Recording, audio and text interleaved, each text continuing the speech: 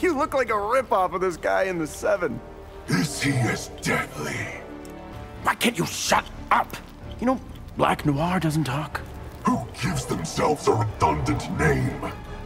If I won't follow Liu Kang, why would I follow you? Because if you don't, I'll fry your brain. You may fool others, but I know exactly what you are. Guess the secret dies with you then.